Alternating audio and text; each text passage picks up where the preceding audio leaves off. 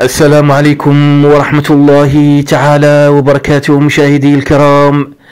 أهلا وسهلا ومرحبا بكم في قناة التقويم وإعادة التأويل في درس جديد ومع رؤى مبشرة جميلة في حق غزة حفظها الله تعالى. لا ندع الأيام تجري دون أن نوثق هذه الرؤى الجميلة. وقلوبنا الآن تتألم لما يقع لأطفالنا في غزة وهم لا يجدون حتى كسرة خبز.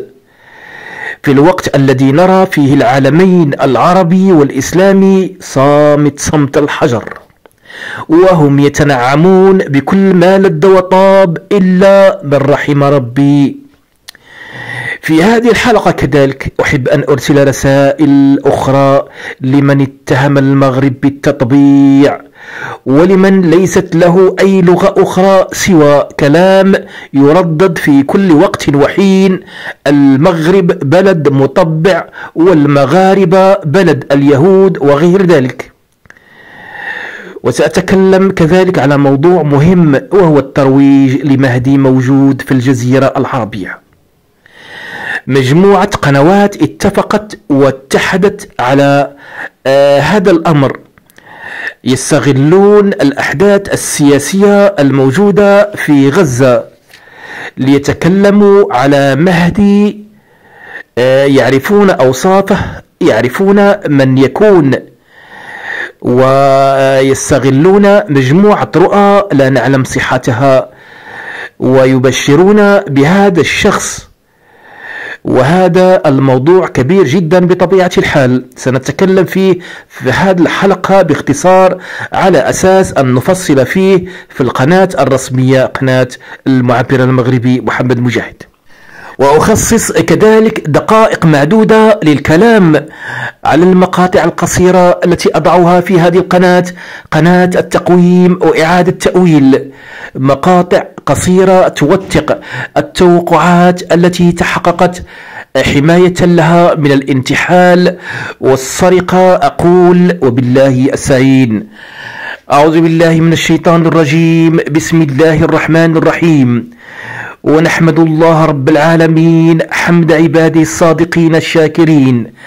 ونصلي ونسلم على الحبيب المحبوب خير مبعوث للعالمين محمد بن عبد الله الصادق الأمين. وعلى آله وأصحابه ومن تبعهم بإحسان إلى يوم الدين. رب اشرح لي صدري ويسر لي أمري واحلل عقدة من لساني يفقه قولي. أحبابي الكرام أسأل الله تعالى أن تكونوا بخير وفي أتم الأحوال والصحة والعافية. أسأل الله تعالى أن يفتح لكم أبواب الخير دنيا وآخرة. ونسأله أن يحفظنا من شر الحاقدين ومن شر الظالمين ومن شر السارقين ومن شر المبتدعين ومن شر العائنين والحاسدين والساحرين ومن شر المدلسين وكل من يتاجر بهذا الدين ونسأله تعالى أن يجمعنا في جنات الفردوس الأعلى. قولوا اللهم آمين. ونبدأ بقراءة هذه الرؤيا الأولى.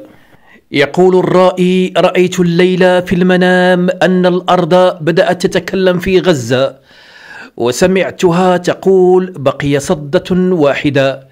فهمت أن أنه بقي معركة واحدة وينسحب العدو. ثم تقول صبروا العيال وفهمت أن على أهل غزة أن يصبروا أن يصبروا أولادهم من الجوع لفترة قصيرة. وبعدها الفرج الرعب دب في قلوب أفراد الجيش بسبب سماعهم الأرض. هذه الرؤية كانت بتاريخ يناير 2024 وأعيد قراءتها يقول الرأي رأيت الليلة في المنام أن الأرض بدأت تتكلم في غزة وسمعتها تقول بقي صدة واحدة. فهمت أنه بقي معركة واحدة وينسحب العدو ثم تقول صبروا العيال. وفهمت أن على أهل غزة أن يصبروا أولادهم من الجوع لفترة قصيرة وبعدها الفرج. الرعب دب في قلوب أفراد الجيش بسبب سماعهم. الأرض الرؤية هذه كانت بتاريخ يناير 2024 أحبابي الكرام هذه الرؤيا صادقة وهذه الرؤيا حق.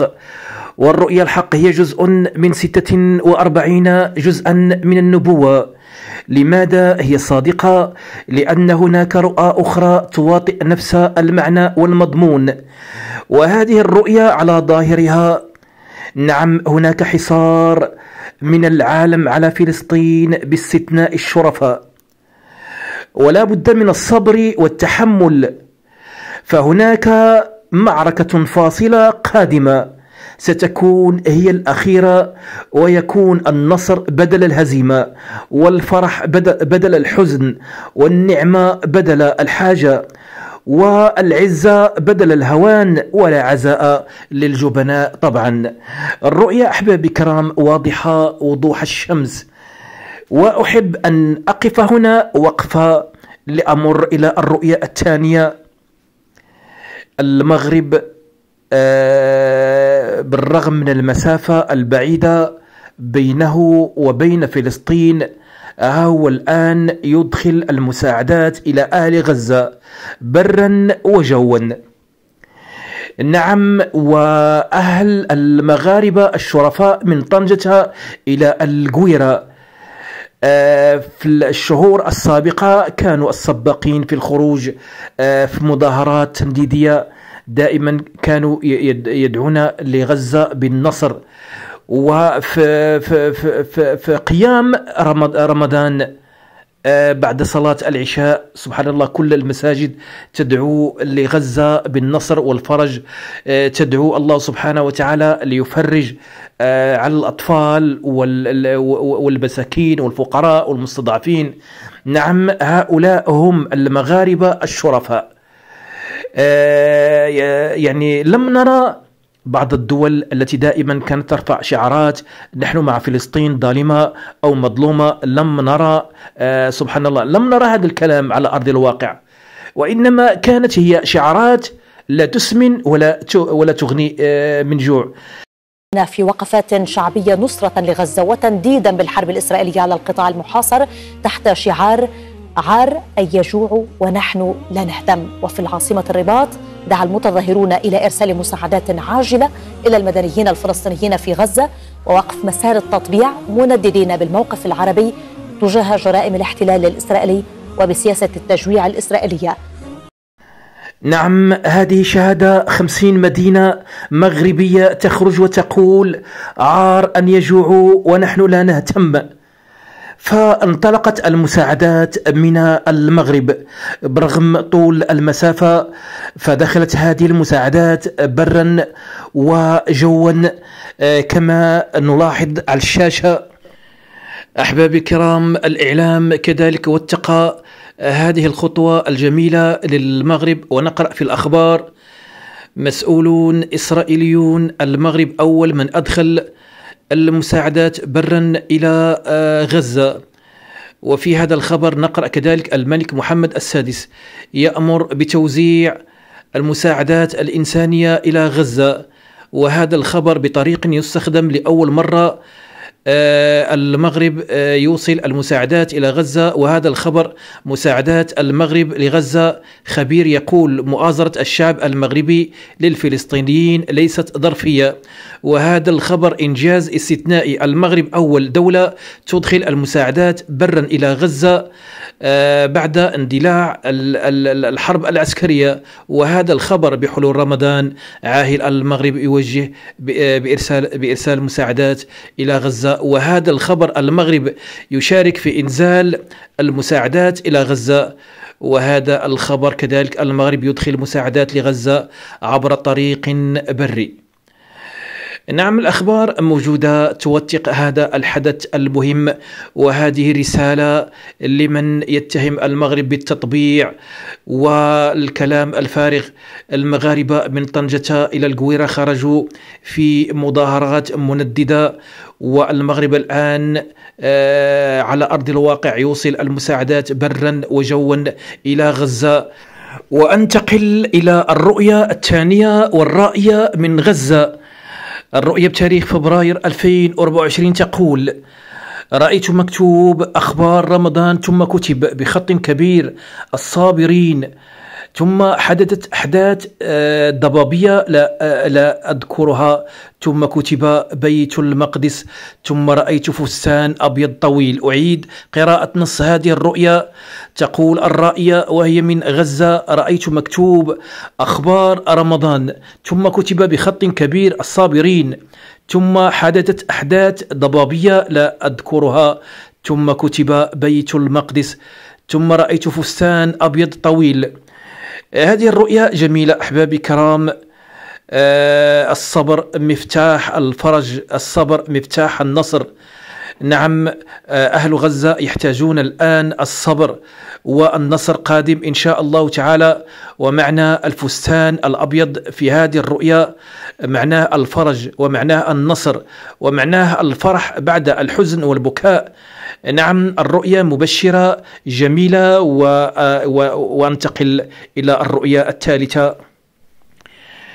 يقول الرائي في هذه الرؤية الثالثة أبي رأى في المنام الرسول صلى الله عليه وسلم يقول جهزوا البيوت جهزوا البيوت. الرؤية هذه كانت بتاريخ مارس 2024 أعيد. قراءة نص هذه الرؤية يقول الرائي أبي رأى في المنام الرسول صلى الله عليه وسلم يقول جهزوا البيوت جهزوا البيوت. الرؤى التي يكون فيها الحبيب المصطفى محمد صلى الله عليه وسلم بأوصافه الكاملة المكمولة في السنة هي رؤيا حق. ونفهم من من من كلام الحبيب المصطفى محمد صلى الله عليه وسلم جهزوا البيوت بمعنى الاستقرار والعودة إلى الوطن بعد الرحيل. نفهم معناه الاستقرار والعودة بعد المخيمات. نفهم الاستقرار والعودة بعد النوم في الشوارع خوفا من القنابل المدمرة.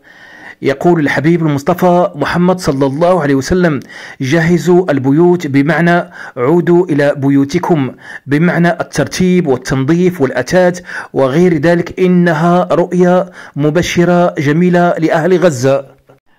وقبل أن أختم هذه الحلقة أحباب الكرام هناك كلام صادم. سأتكلم في هذا الموضوع لدقائق معدودة على أساس أن تكون حلقة كبيرة مفصلة للأحداث في قناة الأولى قناة المعبر المغربي محمد مجاهد. نعم مجموعة قنوات على اليوتيوب تبشر بظهور مهدي معلوم يعرفون آه، اسمه ونسبه وأين يكون إلى غير ذلك. قنوات بطبيعة الحال مشرقية. من مصر والجزائر وغيرها من البلدان آه، اتفقوا وأقسموا على أن هناك مهدي الآن جاهز. ووصلتني فيديوهات ووصلتني تسريبات إلى غير ذلك.